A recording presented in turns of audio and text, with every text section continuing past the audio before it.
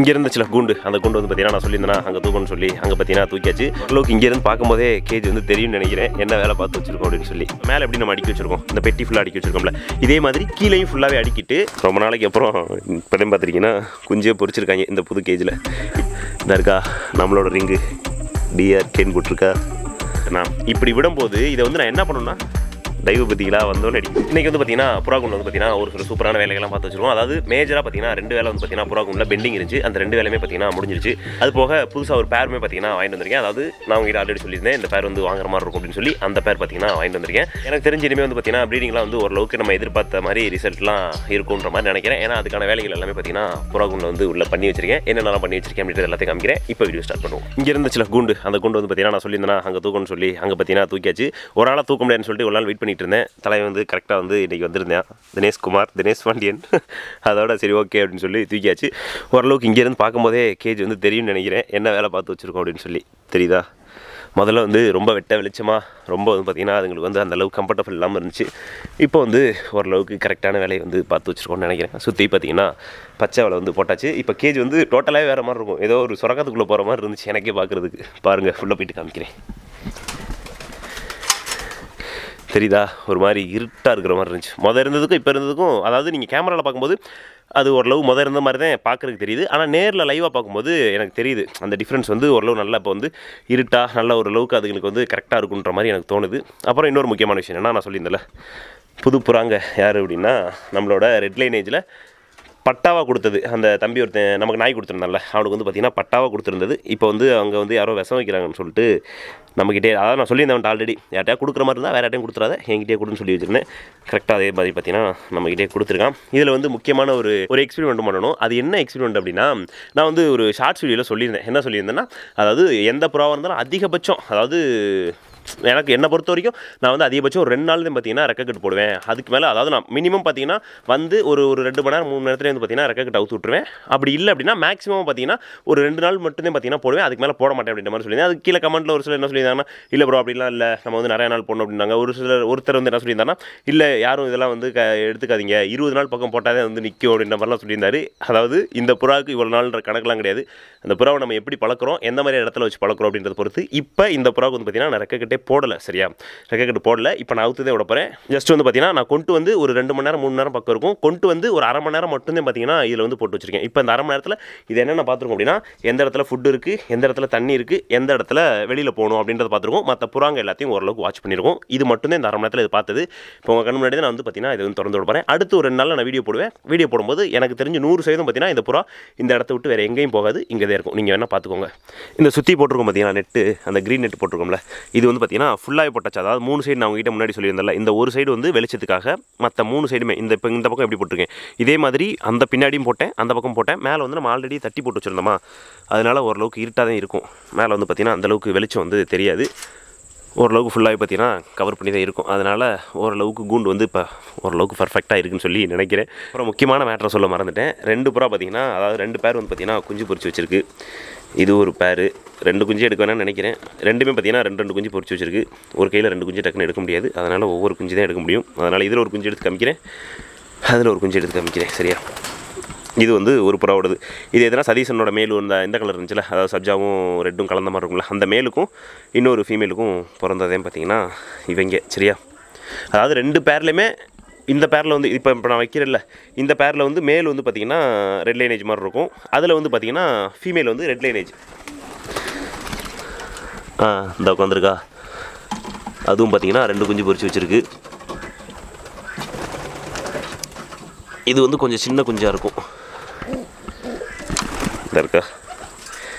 ரொம்ப நாளைக்கு அப்புறம் இப்போதையும் பார்த்துருக்கீங்கன்னா குஞ்சே பொரிச்சிருக்காங்க இந்த புது கேஜில் இனிமேல் ஓரளவுக்கு நார்மலாக வந்து பொறிச்சிருவாங்கன்னு நினைக்கிறேன்.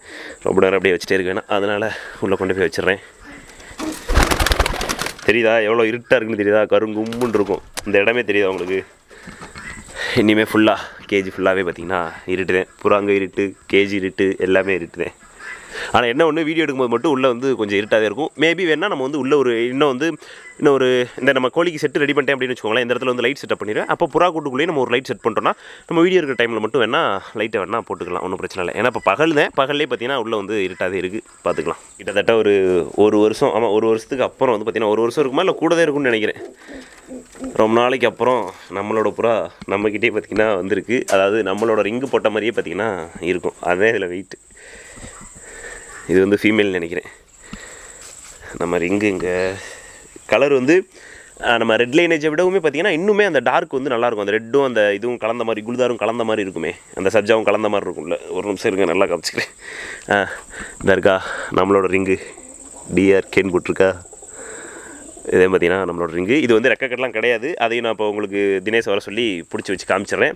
ரெக்கக்கட்லாம் எதுவுமே கிடையாது. ரெக்கக்கட்டு இல்லாமதே பார்த்தீங்கன்னா நான் வந்து கூட்டுக்குள்ளே போட போகிறேன் முக்கியமான விஷயம் நல்லா தெரிஞ்சுக்கோங்க. இந்த ரெக்கக்கட்டு பிரச்சனை நிறையா வந்துட்டு இருக்கு. எவ்வளோ நாள் ரெக்கக்கட்டு போடணும் அப்படின்னு சொல்லி. ஒன்றும் கிடையாது. இப்போ நீங்கள் புதுசாக புறா வாங்கிட்டு இப்போ இந்த புறா புதுசு. ஓகேவா இதுக்கு வந்து ரெக்கக்கட்டுலாம் கிடையாது. அப்படியே விட்டுட்டேன். ஓகேவா இப்போ ரெக்கக்கட்டு கிடையாது. அப்படியே விட்டுட்டேண்ணா இப்படி விடும்போது இதை வந்து நான் என்ன பண்ணணும்னா தெய்வ பத்திகளா வந்தோன்னு அடிக்குது. இதை வந்து என்ன பண்ணணும்னா வெளியில் விட்டுறக்கூடாது வெளியில் விடுறது ரொம்ப ரொம்ப தப்பு.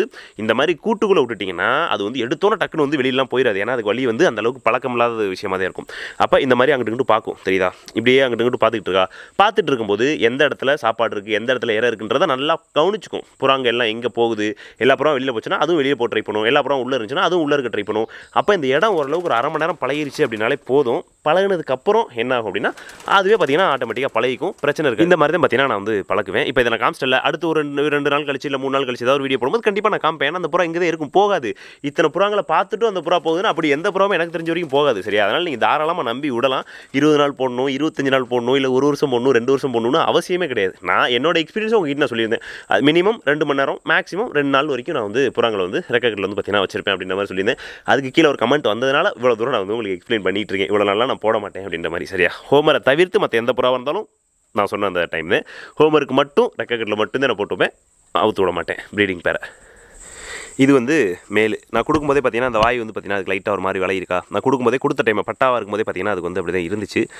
அதனால் அது ஒன்றும் பண்ண முடியாது. அது அந்த டைமில் வந்து லைட்டாக வெட்டி விட்டா நெகட்டிவ் வச்சு அதாவது சதையை வெட்டிடாமல் லைட்டாக வெட்டி விட்டா கரெக்டாக இருக்குன்ற மாதிரி சொன்னார் தெரிஞ்சவர் ஒருத்தர்.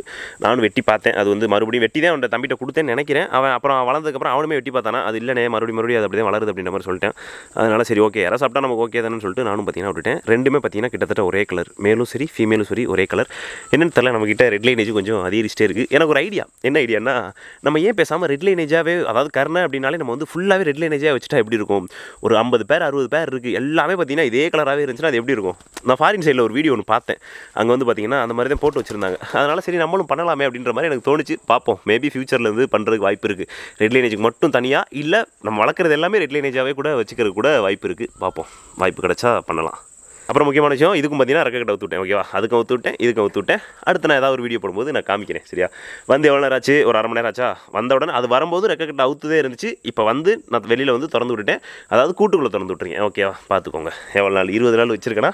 இல்லை ஒரு வருஷம் பக்கம் வச்சுருக்கேனா? அப்படின்றதையும் பார்த்துக்கோங்க கர்ணப்புறான்னு கிடையாது. எந்த புறா கொண்டு வந்தாலும் சரி நான் இப்படி தான் தூடுவேன் விடுவேன். நைன்ட்டி பர்சன்ட் என்கிட்ட வந்து நல்லாவே பழகிக்கும். நான் ஆல்ரெடி சொன்ன மாதிரி பக்கீர் சாட் இருந்து வாங்கிட்டு வந்து ஒரே ஒரு புறா மட்டும் ஒரு புறாவா? அதாவது ஒரே டைமில் வாங்கிட்டு வந்தால் ரெண்டு மூணு புறாவை நான் என்ன பண்ணிட்டேன்? நான் பண்ண தப்பு என்னன்னா கூட்டுக்கு வெளியில இருந்து பார்த்தீங்கன்னா தூக்கி போட்டேன். அது மட்டும் தான் எனக்கு தொலைஞ்சது. அதாவது நம்ம இது இருக்குல்ல நம்ம தனிக்காட்டு ராஜா இருக்குல்ல அதோட சேர்த்த மாதிரி வாங்கிட்டு வந்த புறாங்களை மட்டும் நான் தூக்கி போட்டேன். அது மட்டும் தான் பார்த்தீங்கன்னா எனக்கு தொலைஞ்சது. மற்ற எந்த புறாவும் எனக்கு வந்து தொலைஞ்சதே கிடையாது. அதிகபட்சம் தங்கிடும் அப்புறம் வந்து ஒரு சிலர் வந்து ஆடு என்ன ப்ரோ ஆச்சு? ஆடே காமிக்கவே மாட்டேங்கிறீங்க அப்படின்ற மாதிரி சொல்லியிருந்தீங்க. அதுக்காக காமிக்கிறேன். ஆடு வந்து ஒன்றும் ஆகலை. அது பாட்டில் நார்மலாக தான் நின்றுட்டு இருக்கு. முந்தானத்தையும் முந்தா நேரத்தையும் பார்த்தீங்கன்னா டிவார்மிங் டேப்லெட் போட்டு விட்டேன் அதாவது குடற்புழு நீக்கம்னு சொல்லுவாங்கள்ல அந்த இது போட்டு விட்டேன் அதெல்லாம் போட்டு சொல்ல ஒரு பாட்டில் நின்றுட்டு இருக்காரு மேஞ்சிட்டு இருப்பார் இன்னும் ஒரு ஒரு வாரம் ரெண்டு வாரத்தில் வந்து ஒரு சின்ன பிளான் ஒன்று இருக்குது அதாவது என்னென்னா நம்ம நம்ம குட்டியை கொடுத்துட்டு வந்து எக்ஸ்சேஞ்ச் முறையில் வந்து நம்ம கிடா குட்டி ரெண்டு குட்டி வாங்கி விடலான்ற மாதிரி நம்ம ஆல்ரெடி போயிருந்தோம்ல அந்த ஐயா. அந்த ஐயா தான் சொன்னார். வேணா உன் பொட்டை குட்டி வேணா என்கிட்ட கொடுறா நான் விற்க போகிறேன்ற மாதிரி சொன்னேன். அதாவது ஒரு நாலஞ்சு மாதம் கழிச்சு நான் விற்க தானே செய்யணும் அப்படின்ற மாதிரி சொன்னேன். விற்காத இது நல்லா நல்ல குட்டியாக இருக்குது அப்படின்னு சொல்லிட்டு நீ வேணா ஏன்ட்ட வேணா கொடு நான் வந்து கிட கடையில் போட்டுக்கிறேன். அதுக்கு பதிலாக உனக்கு வேணா நான் வந்து கிடா குட்டி வேணால் தரேன் அப்படின்ற மாதிரி சொல்லியிருந்தாப்புல. அதனால் இதை கொடுத்துட்டு மேபி அதை வாங்கலான்ற மாதிரி தான் நானும் இருக்கேன். ஒரு வேலை வாங்குற மாதிரி இருந்தால் எக்ஸ்சேஞ்ச் பண்ணுற டைமில் உங்ககிட்ட காமிச்சிட்டு அதுக்கப்புறம் நான் எந்த குட்டி வாங்குறேன் அப்படின்றத சொல்கிறேன் ஆல்ரெடி நம்ம பேசியிருந்தோம்ல ரெண்டு குட்டி. அதை தான் வந்து வாங்குற மாதிரி இருக்கும். பார்ப்போம். எப்படின்னு. அப்புறம் இதேமே பார்த்தீங்கன்னா எதுக்காக தூக்கிட்டு வந்தேன்னா உங்ககிட்ட ஆல்ரெடி சொல்லியிருந்தல இது அங்கே இருக்கிறது அந்த அளவுக்கு கரெக்டாக இருக்கிற மாதிரி தெரியல. ஏன்னா முஸ்கி எல்லாத்தையும் கொண்டு வந்து நம்ம இங்கே வச்சிட்டோம். அப்புறம் அங்கே இதை வச்சு இந்த பிரயோஜனம் இல்லை. அதனால் இதை வந்து இங்கே கொண்டு வந்து வச்சு இப்போ மேலே எப்படி நம்ம அடுக்கி வச்சிருக்கோம்? இந்த பெட்டி ஃபுல்லாக அடுக்கி வச்சிருக்கோம்ல. இதே மாதிரி கீழேயும் ஃபுல்லாகவே அடிக்கிட்டு இதை ஃபுல்லாக பார்த்தீங்கன்னா ஓப்பனில் வச்சிரும். அதாவது இந்த மாதிரி இந்த கொக்கியை தூக்கி இப்படியே மேலேயே போட்டு இப்படியே போட்டு விட்டோம்னு வச்சுக்கோங்களேன். எந்தெந்த புறாங்க உள்ளே போகணுமோ அந்தந்த புறாங்க உள்ள உள்ள போயிட்டு இது பண்ணிக்கும். அதாவது இது வந்து ஓப்பன் ப்ரீடிங்காக தான் சரியா? கேஜி ப்ரீடிங் கிடையாது. உள்ளே போட்டு நம்ம அடைச்சி வச்சுட்டு தீனி இறெல்லாம் உள்ளே வைக்க போகிறது கிடையாது.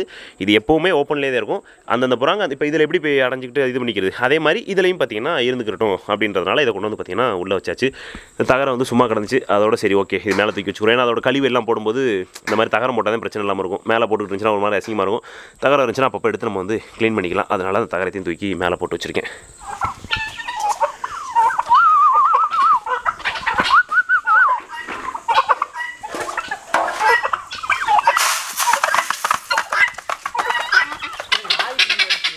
எல்லாம் சாப்பிடும். ஆடு கோழி நாய் எல்லாம் சாப்பிடும். ஆ இல்லை இல்லை ஆடை இப்போ பிடிச்சி கட்டி விட்ருவேன் பா பா